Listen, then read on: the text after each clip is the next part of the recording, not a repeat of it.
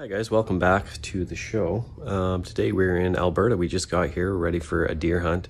As you can see in the back here, um, my good buddy Jason and his dad, they already shot some nice bucks. Um, got most of the meat processed here. Uh, what I'm doing is I'm saving all the tallow off the deer, as you can see here. Got all the fat that came off all their backs and their rumps there, that hard white fat that we usually throw out. We're actually gonna keep that this year. So I cleaned it all up bagged it. I'm gonna freeze it. And when I get home, we're gonna try and make some stuff out of it. So stay tuned for that and um, hope you guys enjoy. That's making the most of your deer. Every part, trying to learn something new every year. So here we go. Stay tuned for the hunt. Hey guys, welcome to the Angling Adventure. Um, and today we are going to uh, be rendering some deer tallow from Graham's uh, recent hunt. So this is our first attempt, so uh, let's learn together.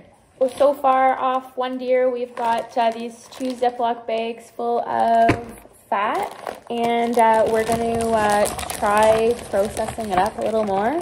Um, most of the pieces are pretty small.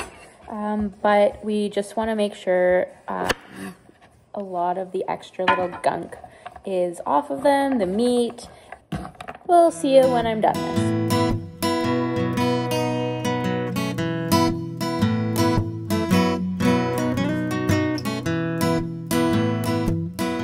And here we've got some water and we're just gonna add a bunch of salt.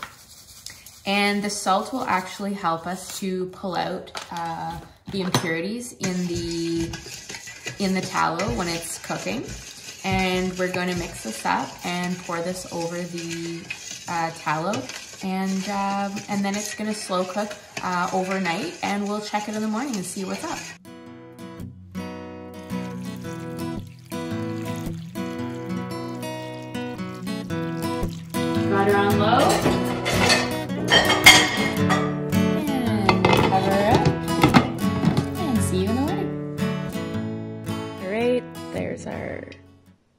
There's our tallow. I just turned it off for a little bit. It was just still bubbling. Um, as you can see, it's pretty jello-y. Um, it actually smells delicious, as weird as that is. And then here, I'm just going to use my hand blender and see how this goes.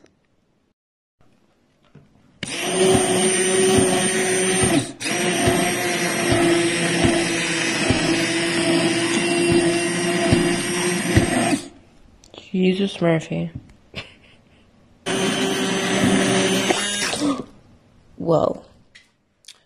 Well, um, it's been emulsified, and um, I can't say it wasn't just a little bit messy, but uh, the texture is a lot um, smoother, less chunks. I couldn't get them all, but uh, those will come out with the cheesecloth later, I believe. So uh, I'm going to leave this on low for a few more um, hours, I think. So just turning that back on because while I was emulsifying, it already started setting up. Um, you can kind of see that a little bit there. But uh, I don't know, smells really nice. Smells like a nice roast, honestly. So um, we'll see what this looks like in a little while. All right, stay tuned. Oh, Hi guys.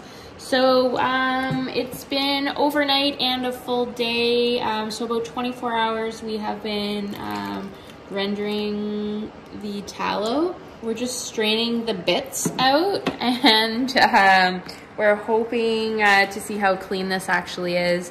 As you can see, a lot of uh, impurities and gunk the salt has pulled out and, uh, and we're actually getting some cleaner stuff in the bowl.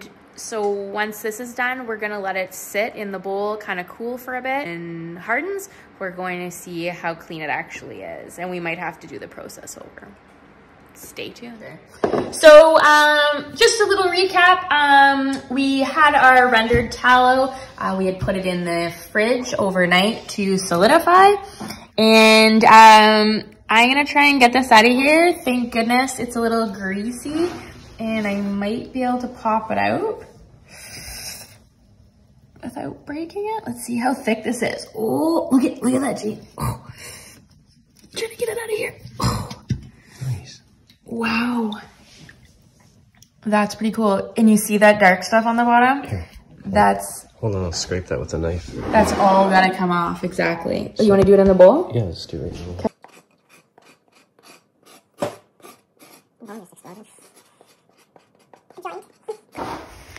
So we're just uh, drying our tallow. Um, we wanna make sure all the moisture is off. Just with a paper towel of some sort, because this is extremely greasy. We just ran ours under some hot water and actually got in all these little crevices here and got out like some some gunk. So we're hoping that we can get away without rendering this again. So do we want to try and cut this then? Actually, Wow. we'll just split like a block of wood. Look at that. Can you see that? Like it's so far I think the I think a lot of the moisture is pulled out. Maybe the putting in the fridge really helped, right? So we can kind of get it into some jars and do what we got to do with it. Looks uh, looks good to me. So there you have it. And we we're gonna store it in um, in some glass jars so that the tallow doesn't absorb um, any of the like nasty things from that are part of plastics. Um, and apparently it'll be shelf stable. So as long as all that moisture is pulled out. Stay tuned next year to see. and um, what are you gonna do with this stuff? So I am actually gonna try and uh, make some body butter, like face lotions and things with it. Um, use some essential oils, things like that. Um, maybe whip it up. I, I'm sure there's a million things we can probably do with it. I like but- that. I like the hand cream thing. Yeah, yeah. Apparently, you can use it just like like this, like actually, and like wipe, rub it on your skin. It actually feels really nice. Um, but I don't, I don't want to smell like a roast all the time, Smell- so I'm just gonna add some essential oils and some other oils to make it a little more spreadable too. Way too close. Hi guys, so um, I've decided that I wanted to use some of the tallow to make some uh, body butter, face cream, or whatever you want to call it. Um, so here what I've done is, um, so I'm, I'm just uh, boiling down some of the um, tallow. Um, so every cup of tallow, I've added um, a quarter cup of coconut oil just to make it more spreadable. I've put a little bit of tea tree oil um, in because it's good for disinfecting, um, cleaning pores, things like that. And I'm also adding um, some essential oils. So I'm just adding some grapefruit so it smells a little more fruity instead of so much dairy. I just put a little a dash of uh, tea tree in there and I'm doing per cup of tallow, I'm doing about like 50 drops of grapefruit oil. I'm just gonna add that in and then we'll add the tallow and we'll get to mixing.